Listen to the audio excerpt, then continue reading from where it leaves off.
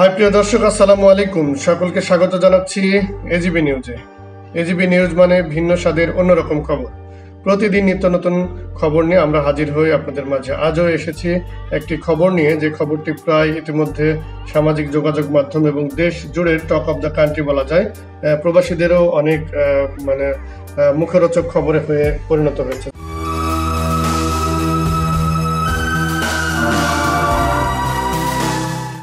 নিশ্চয়ই আপনারা দেখতে পাচ্ছেন ছবিতে গুগল যাকে বলে সুমন ব্যাপারে হ্যাঁ গুগলে সুমন ব্যাপারে নামে সার্চ দিলে এগুলি চলে আসলো, তার মানে তিনি এই মুহূর্তে কতটা ভাইরাল তা নিশ্চয়ই আপনারা দেখেই বুঝতে পারছেন। গুগলের প্রতিটি পরতে পরতে আমরা তার ছবি দেখতে পাচ্ছি স্ক্রলিং করে নিচে গেলে দেখা যাচ্ছে শুধুই সুমন ব্যাপারে সুমন ব্যাপারে, সুমন ব্যাপারের খবর। যাই হোক, কে এই সুমন ব্যাপারী এবং কি তার খবর খবরাখবর সেটুকু যদি আমরা শুরুতেই বলি, তাহলে বলতে হয় যে তেরো ঘণ্টা পর জীবিত উদ্ধার হলেন এই ব্যক্তি। বুড়িগঙ্গায় ডুবে যাওয়া মর্নিং বার্ড লঞ্চ থেকে প্রায় তেরো ঘণ্টা পর একজনকে জীবিত করা হয়েছে। তিনি হচ্ছেন এই সুমন ব্যাপারী। তার নাম সুমন ব্যাপারী, বয়স প্রায় পঁয়ত্রিশ। সদরঘাটের বাদামতলির ফলপট্টিতে ফল বিক্রি করেন তিনি। উদ্ধারের পরেই ডুবুরিরা তাকে লাইফ সাপোর্ট লাইফ জ্যাকেট পরিয়ে শরীরে তেল মেসেজ করে এবং শরীরকে গরম করে তারপরে তাকে সুস্থ করে তোলার চেষ্টা করেন। পরবর্তীতে তিনি আস্তে করে চোখ মেললে তাকে হাসপাতালে ভর্তি করা হয়। বর্তমানে তিনি স্যার সলিমুল্লাহ মেডিকেল কলেজ হাসপাতালে ভর্তি রয়েছেন এবং যতটুকু জানা গেছে, তিনি অনেকটাই সুস্থ এবং সুন্দর আছেন। যাই হোক, প্রিয় দর্শক এই সুমন ব্যাপারীর পানির নিচে বারো ঘণ্টা, তেরো ঘণ্টা থাকা নিয়ে অনেক আলোচনা এবং সমালোচনা করেছেন তিনি। নেটিজেনরা তাকে নিয়ে খুব মেতেছেন। কেউ বা বলছেন এটি কোনোভাবেই সম্ভব নয়। দেখতে পাচ্ছেন যে কেউ বলছেন ওরে বাটপার। অর্থাৎ সুমন ব্যাপারীকে কেউ কেউ বাটপারে বলে আখ্যায়িত করছেন। আবার কেউ বলছেন যে, না, এটা আল্লাহর ইচ্ছায় তেরো ঘণ্টা বেঁচে গেলেন সুমন ব্যাপারী।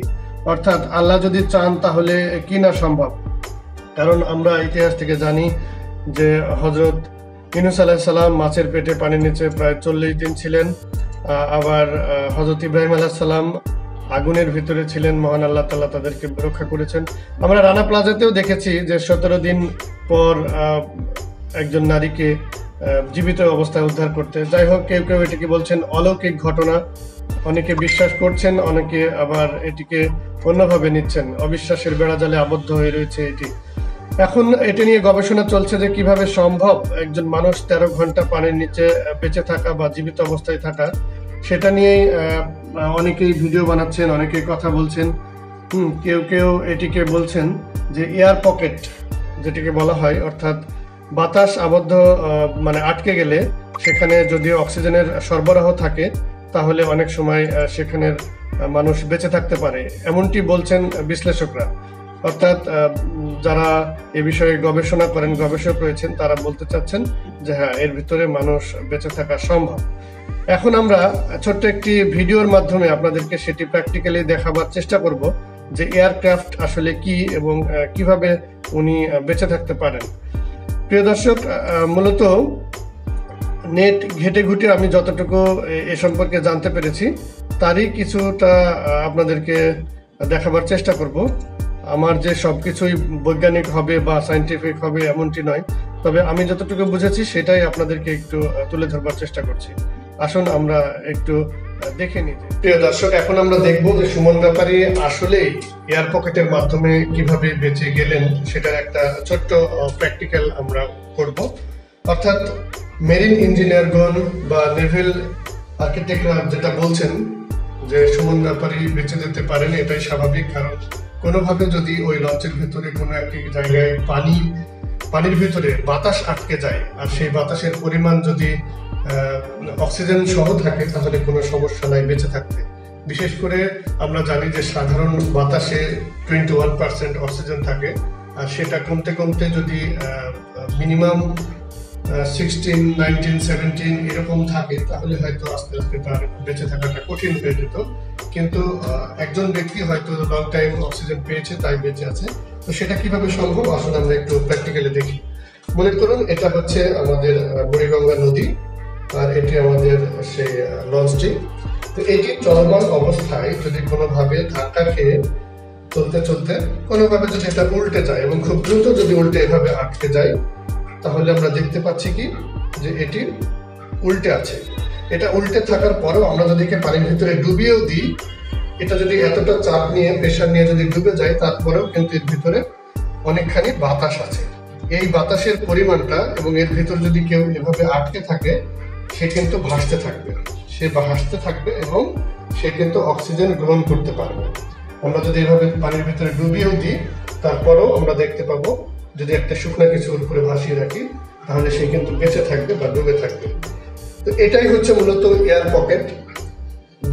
গবেষকগণ এবং নেভেল আর্কিটেক্টরা বা মেরিন ইঞ্জিনিয়াররা বোঝাতে চাচ্ছে যে এভাবে যদি সম্ভব হয় তাহলে উনি বেঁচে থাকা তার জন্য সম্ভব। কারণ সহজ হবে এজন্য যে ভিতরে অক্সিজেন আছে।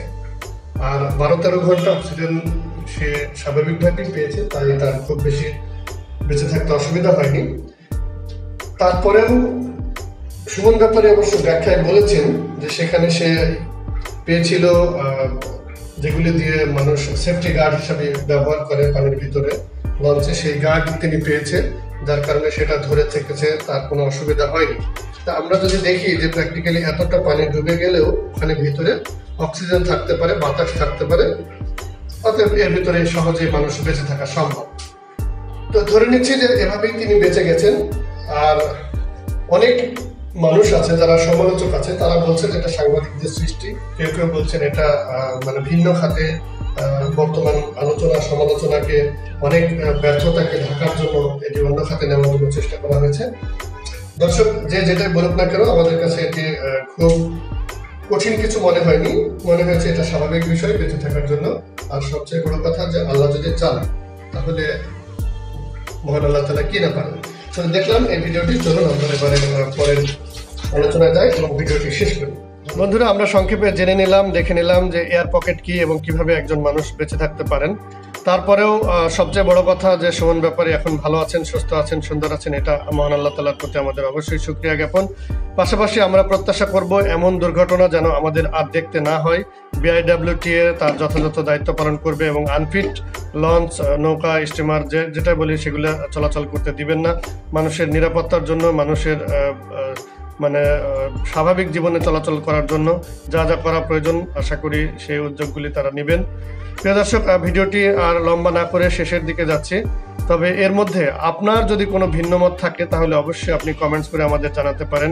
বিশেষ করে যদি আপনি মনে করেন যে এটি আসলে স্বাভাবিক কোনো ঘটনা নয়, সেটিও আপনি লিখে জানাতে পারেন। আর যদি মনে করেন যে না, এটি যা আমরা এতক্ষণ দেখাবার চেষ্টা করলাম, এটাই বাস্তব, সেটি কমেন্টস করে আমাদেরকে জানাবেন। ধন্যবাদ এতক্ষণ ধৈর্য ধরে আমাদের ভিডিওটি দেখবার জন্য। এজিবি নিউজ মানেই আলাদা কিছু। সুতরাং আপনারা আমাদের সাথে থাকুন। এজিবি নিউজের সাথে থাকুন। এজিবি নিউজ সাবস্ক্রাইব করে প্রতিদিন নিত্য নতুন আপডেট পেতে আমাদের সাথে যুক্ত থাকুন।